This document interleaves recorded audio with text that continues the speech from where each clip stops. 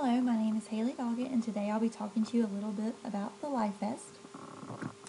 Now, when most of you hear the word LifeVest, you may think of the type of LifeVest that's used as a flotation device, but that is not actually the type of LifeVest I want to talk to you about today.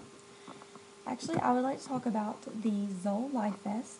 It is a wearable defibrillator for patients at high risk for sudden cardiac arrest who are not yet candidates for internal defibrillators, which are also known as ICDs. This right here is an example of the Zoll LifeVest that's currently used. It is worn over the shoulders, much like a backpack would be worn. It has the uh, self-gelling defibrillator pad seen in the back. It has a garment belt worn uh, above the waist around where the apex of the heart lies. It in-houses the ECG electrodes, which are responsible for monitoring heart rate and rhythms. It also has a monitor, which is the black box there, which um, stores the data that's collected by the electrodes and can be later transferred to the LifeVest network and later reviewed by physicians. A little bit of history about the Zoll LifeVest. In 1986, Dr. M. Stephen Heilman and his group of colleagues founded LifeCor and began the development of wearable cardiac defibrillators. The device was tested for three years in the US and Europe and later approved by the FDA LifeVest is now a company that bought out LifeCor and they developed their own devices. So in 2002, the FDA approved the LifeVest wearable cardioverter defibrillator. And since then, LifeVest has developed four generations of wearable cardiac devices. So a lot of you may wonder what really is the purpose of a LifeVest. If you're having a sudden cardiac arrest, which is also known as SCA, if you simply call an ambulance and get transported to the hospital, your chances of surviving are only 6.4%. If you have a, a, physician standing by at the time your uh, cardiac arrest occurs, your chances of surviving are only 15 to 20%.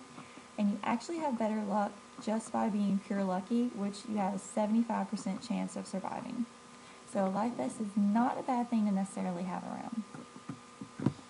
What exactly does the life vest do? Well, it's the device that monitors your heart rhythms, which will be things like ventricular fibrillation, which is a severe abnormal heart rhythm, or ventricular tachycardia, which is a rapid heart rate. It can detect and treat sudden cardiac arrest in less than 60 seconds, and it'll provide a shock if deadly arrhythmia is present. So pretty much your heart is not only a muscle that pumps blood to your body, it is an electrical system as well it's made up of like SA and AV nodes. They'll send impulses down the heart, which send signals to contract the heart muscles, which in turn pump the blood and push it out of your heart and through your body to your organs. So if your body's not being supplied enough um, blood, it's not going to reach your brain. Patients will begin to feel lightheaded and can become unconscious. So this is what the LifeVest does. It's going to send alarms to alert the patient so that they know that something's going on that's not right with their heart.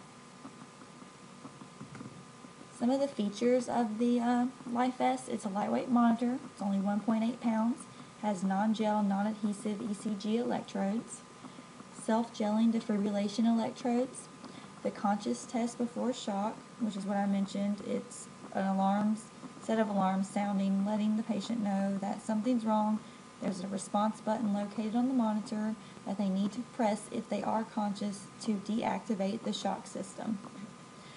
And if they don't, then the shock will initiate. It monitors heart rhythms for 30 seconds before initiating the shock, and the monitor can store up to 75 minutes of ECG data. Now, the treatment sequence for the LifeVest, if an arrhythmia is detected, it's going to monitor it for 30 seconds at this point, during the entire 30 seconds, a vibration alarm will sound, alerting the patient that something's wrong. After five seconds, a siren is going to also alert the patient, giving them another opportunity to, to uh, hit the response button. If the device is still not deactivated by hitting the response button, a louder siren will occur after about 10 seconds. At this point, if the patient hasn't hit the response button, they're probably unconscious and so the device will then send a bystander warning, letting any surrounding people know that they need to step back because the shock is about to be initiated. The gel will start releasing in the defibrillator pads which is used to help protect the skin from burns that can occur during the shock, and it also helps transfer the electricity from the device through the patient's body. Now, the actual shock treatment occurs after 25 seconds. If a the patient does not still respond after the first shock, the device will continue to shock the patient until they hear a response, until the patient can get up and actually hit the response button. So the device's main purpose is to get the heart back into a regular rhythm that can so it prevents any further damage. Physicians are capable of reviewing the ECG strips. They can monitor how often the patient is wearing the device and if the patient is experiencing any difficulties with the device, such as loose electrodes or malfunctioning equipment. Just by um, the device, the information that's stored in the monitor, it can be updated on the LifeVest network, and this is where the patients pretty much, um, I'm sorry, the physicians access the information of the patient's LifeVest. How they go about doing this, the physician logs on to the LifeVest company network. They'll have a list of patients uh, that are their active wearers. They'll choose their patient from the list. It'll bring up all their EKG strips. It'll show the activity of their heart, how often the patient's been wearing the device, and if they're having any complications or problems with the vest at the time. Uh, the network can be accessed anywhere that there's internet capable devices. So Anywhere that there's a laptop or a smartphone, the physician is capable of accessing the patient's data that's regarded with the LifeVest. As far as insurance coverage, LifeVest is covered by most health plans in the U.S. Of course, there are qualifying conditions. Uh, some of the examples of those are going to be after a recent heart attack, before and after heart bypass surgery, uh, patients who are listed for cardiac transplant, and those with terminal disease with life expectancy of less than one year. So if you fall under any of those categories, your insurance most likely will cover the cost of Life Vest, but you still will be responsible for a copay, however. Once orders have been given for a patient to have a Life Vest, they will get fitted, and then it's really up to the patient to take care of it from there. So some of the responsibilities that lie on the patient are going to be the changing of the battery, which is done every 24 hours. They get two rechargeable batteries, so there's always one in the system and one always charging. Absolutely in no way can they get the system wet. They are to wear the vest at all times, so it will need to be uh, taken off during showering, but other than that, the life vest should be worn all the time. Only patients should hold response buttons when feeling the vibration or hearing siren alarm. This is mainly because if the patient is unresponsive, unresponsive, the vest is going to need to give a shock to get their heart rate back in rhythm.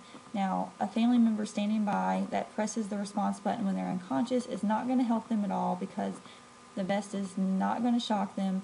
It's not going to initiate that response and it's not going to get the heart back in a normal rhythm and the patient could possibly die.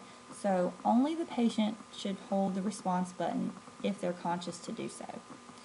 Uh, the device also sends uh, data through a modem. Now these are older devices, so it's the patient's responsibility to hook up the modem and their monitor to transfer the, the uh, excuse me, the data that was collected. So this is done once per week. Now in newer devices, the patient data is updated every three days wirelessly from the device to the network itself so the patient doesn't really have to do anything. So that's good. They don't have to constantly remember, oh, I have to hook up my device to the modem to transfer my data. So that's definitely one of the improvements they've made over the years. As far as the older devices, they were a lot larger and more bulky. Voice recordings initiated the entire process, and like I said, the modem connection was required for data transfer. Uh, as for present devices, which is the one pictured you saw earlier, it's a lot smaller and user-friendly. Uh, the device has a touchscreen monitor and it uses wireless transfer of data to the network. As far as future devices go, I actually spoke with one of the Zoll LifeVest representatives and he said that they continue to improve in size, usability, and comfort for patients. Uh, one of the main complaints of patients is that they're just not comfortable since they have to sleep in them.